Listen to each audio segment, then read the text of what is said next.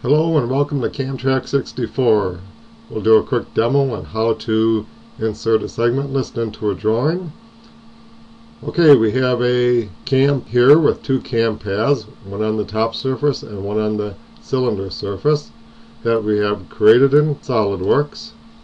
And in SOLIDWORKS we also have a drawing started that we want to insert the segment list on. So with that active, let's go back to CamTrax. And then we'll go to CAD insert segment list into drawing. And that opens up the dialog box.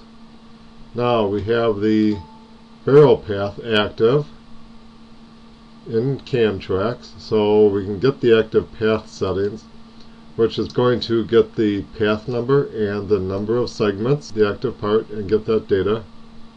And then we just need to click create table in CAD and here is our segment list. And now we can go back to CamTrax and get the other segment. Let's close this. We'll switch to the top path.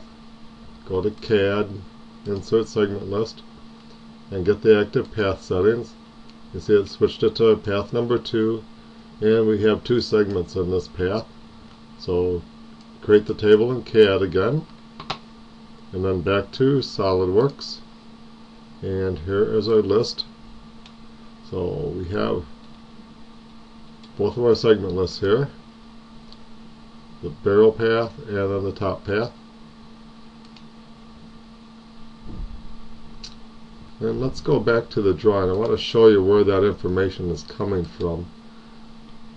If you go to file and properties on the part then the configuration specific all the data that is being showed in those tables are listed here.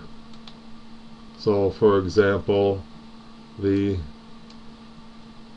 start angle and end angle of the first motion on the first path, so this number one here, the first one is the path number, the second one is the segment number, so we go from 0 to 140 and 2 inches to 8 inches.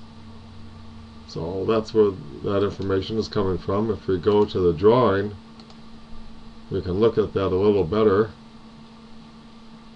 So if you double click on on that, it brings up a, a toolbar and the link to property is essentially what we're doing in the model view and then we can see those properties.